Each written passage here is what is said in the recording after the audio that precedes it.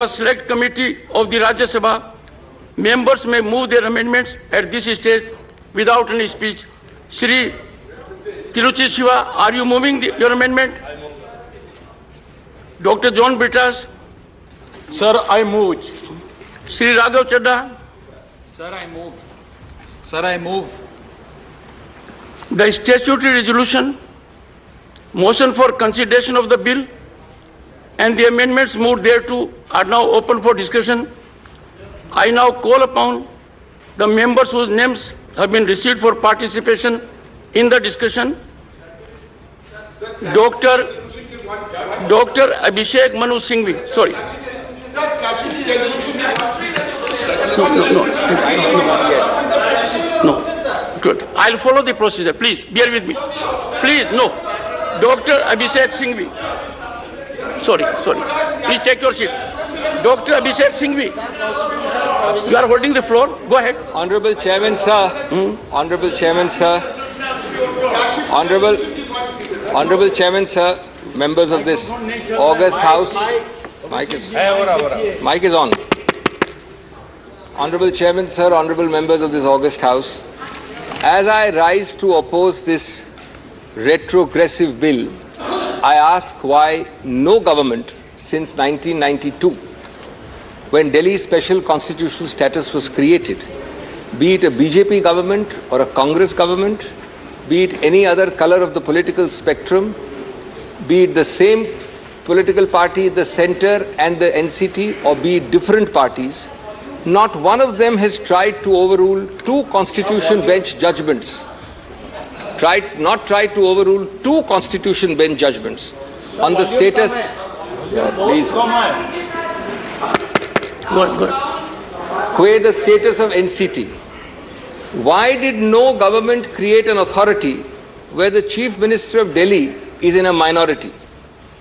Why did no government empower two bureaucrats to overrule an elected Chief Minister?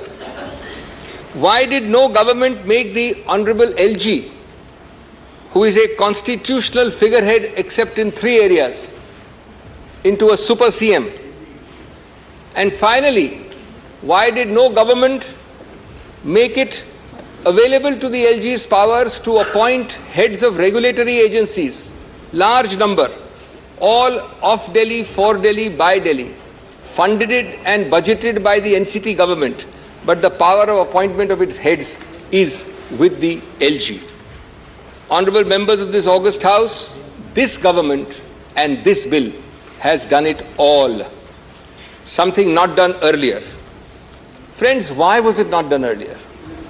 Because unfortunately, it is the fitrat of this control freak sarkar, whose vendetta, whose, whose, whose calling, whose visiting card appears to be vendetta, whose identity badge is of a graceless and fuming electoral loser Yes. yes. whose approach is to control, control, and control by hook or by crook, usually more by crook and less by hook. Yes. Yes. So, friends, make no mistake about it. As I will demonstrate shortly, this bill is completely unconstitutional. It is fundamentally anti democratic. It is a frontal assault on the regional voice and aspirations of the people of Delhi. It violates all principles of federalism all norms of civil service accountability, all models of assembly based democracy, and of course, it violates, as I will demonstrate, the basic structure. Friends, it is not about this NCT government or that. It is the deliberate regression from a people's government guaranteed to the people of Delhi 30 years ago. And hence, it is a decimation of the most fundamental constitutional values on the basis of which 239AA and that entire chapter was passed. That is why, friends, we must all collectively rise to oppose it. Because otherwise, friends, Iqbal's words will haunt us when he talked of Tariq ki nazrein and he said लम्हों ने खता की सदियों ने सजा पाई. Friends we must also collectively opposite because some day this anti federal knock will come at your door ये उनके लिए सोचने की बात है जो इस बिल का समर्थन कर, कर रहे हैं या समर्थन करने की घोषणा कर दी है। जो आज दिल्ली सरकार के साथ हैं शायद कभी आपके पास भी, जल्द ही आपके साथ भी ऐसा ही हो सकता है। सबका नंबर आ सकता है। उस वक्त जब नंबर आएगा तो आपको सिर्फ़ याद आएँगे मार्टिन न्यूमेलर के वर्ड्स। वो पुराने जाने माने शब्द हैं, लेकिन मैं दोहरा रहा हूँ। First they came for the socialist and I did not speak out because I was not a socialist then they came for the trade unionists and I did not speak out because I was not a trade unionist. Then they came for the Jews and I did not speak out because I am not a Jew. Then they came for me and for you. And there was no one left to speak for us. Friends, friends, what does, let me, let me start with my two heads. What does this bill do textually first? And secondly, what is the consequence of that text? Let me deal with these two aspects first दोस्तों ये bill एक civil services authority बनाता है और उसको व्यापक शक्तियाँ देता है सुझाव देने की। हर नियुक्ति, हर स्थानांतरण, हर चीज़ के बारे में ग्रेड ए अफसर से लेके दानिक्स अफसर तक। व्यापक है, विशाल है। कौन किसी और की सरकार में वित्त का सेक्रेटरी बनेगा? कौन पीडब्ल्यूडी का सेक्रेटरी बनेगा? उनके बीच में अदला बदली कब और कैसे होगी? ये माननीय एलजी करेंगे निर्णित न कि चुनावित सरकार।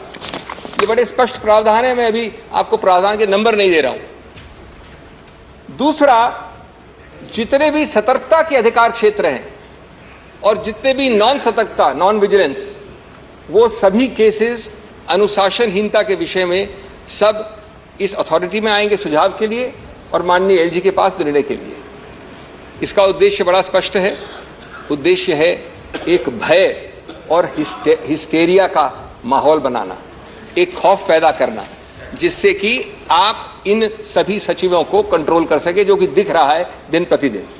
तीसरा ये अथॉरिटी में तीन व्यक्ति हैं चीफ सेक्रेटरी प्रिंसिपल सेक्रेटरी और मुख्यमंत्री और मुख्यमंत्री को बहुत बड़ा अहदा दिया है अध्यक्ष बनाया गया है। ये अजीब सा अध्यक्ष है दोस्तों कोरम है दो लोगों का ये एक चेयरमैन है बिना चेयर के। मैंने वैश्विक और भूगोलिक रूप से आज तक कहीं नहीं देखा मेरे सीमित अनुभव में कि एक चुनावित चीफ एग्जीक्यूटिव दो सचिवों के नीचे आएगा। ये दो सचिव बैठ के निर्णय करेंगे। ये दो सचिव बैठ के निर्णय करेंगे और वो मुख्यमंत्री वहाँ खड़ा होगा, देखता रहेगा, चुप्पी साधेगा या अपना डिसेंट नोट करवाएगा। और उसके बाद, और ये सब प्रावधान है एक एक चीज़ में जो बोल रहा हूँ प्रावधान है, उसके बाद ये निर्णय और सुझाव जाएगा पहले सुपर सीएम के पास और उसके बाद सुपर बॉस जो हमारे सामने बैठे हैं, माननीय गृह मंत्री। ये सब गृह मंत्रालय में आएगा।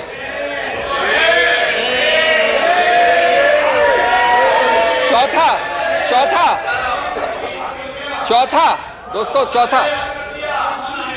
बाद में बाद में। चौथा जितने बोर्ड्स हैं, समितियाँ हैं, संस्थाएँ हैं, वो सब, और इसे बहुत हैं, महत्वपूर्ण हैं। अल्पसंख्यक संघ, Delhi sewerage board, Delhi Jal board so many labour welfare board Waqf board ऐसे 20 की सूची हमने दी है न्यायालय में। उन सब की बजट बनाएगा ये एनसीटी सरकार। उनके काम होंगे एनसीटी के लिए एनसीटी के लोगों के लिए। लेकिन उनके अध्यक्ष, उनके हेड को वहीं से अपॉइंट होंगे सुपर सीएम या गृह मंत्रालय से। पांचवा, जो दूरगामी नीतियाँ हैं, सभी सिविल सर्विस के लिए, उनके टेन्योर के लिए, उनके स्थानांतरण के लिए, उनकी नियुक्तियों के लिए, कौन सी पोस्ट नाजुक है, कौन सी पोस्ट सेंसिटिव नहीं है, और उपयुक्ता वर्ड इस्तेमाल किया सूटेबिलिटी उपयुक्तता इस अफसर की, इस पद के लिए। ये सब और हेड ऑफ़ डिपार्टमेंट कौन होना चाहिए? ये सब माननीय सुपर सीएम और अंततोगत हम जानते हैं कि जो सब चीज़ करती है नियंत्रण वो होम मंत्रालय। हर छोटी चीज़ के लिए, एक हर बड़ी चीज़ के लिए पूर्ण रूपेण व्यापक, निर्बाध टेक ओवर कब्जा। निर्बाध कब्जा है।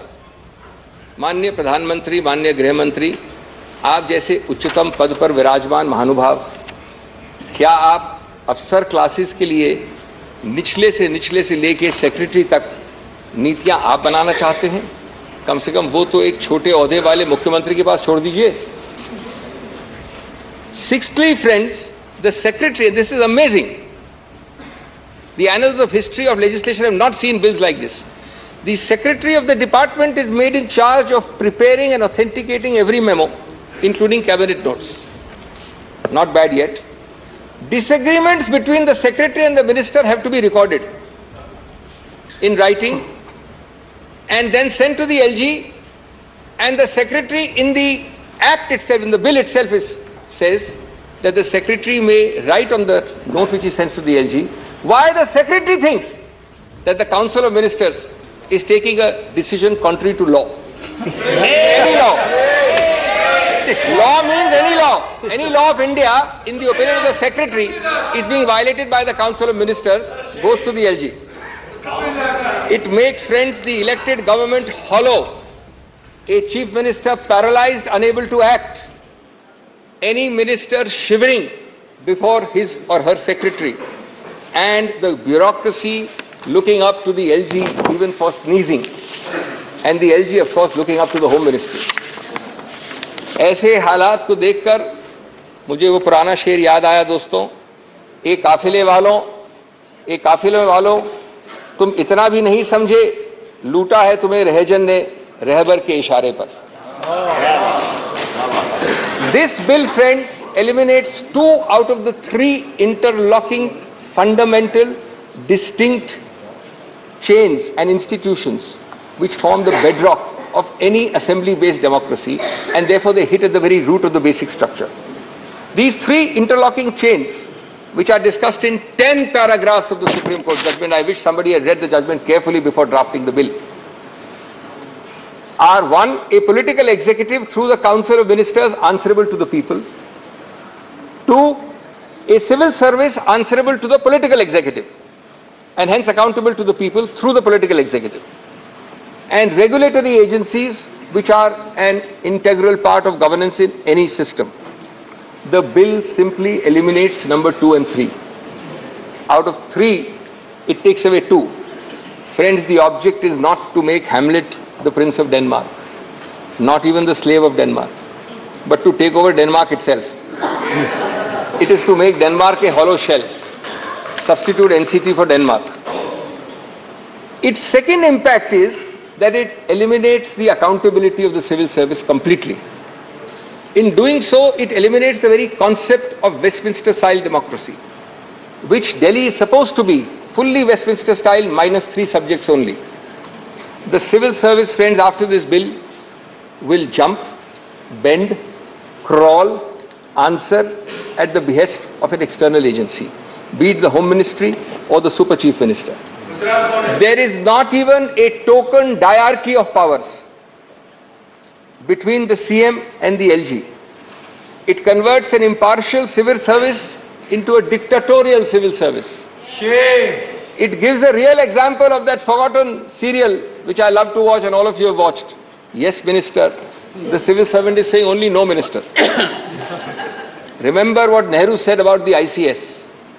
That time, Indian Civil Service He says this is neither Indian nor civil, nor does it provide service. I'm not sure how accurately it will apply in 2023, but I think he came very close to it.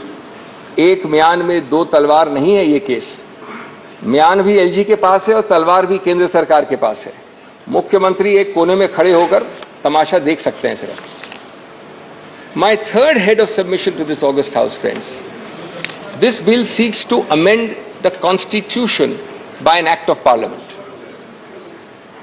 The constitution and the debates underlying it all wanted Delhi to have all powers minus three. This bill adds a fourth to those three and it does it magically without a constitutional amendment. It is indeed magic, even if it is black magic, because you can amend a constitution without a constitutional amendment. Absolutely black.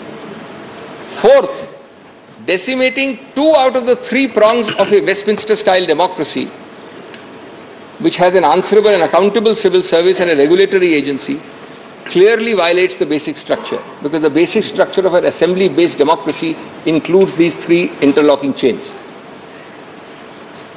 I believe that that would be a very likely Supreme Court conclusion if at all this bill is passed. Fifthly, it also violates the basic structure in another manner.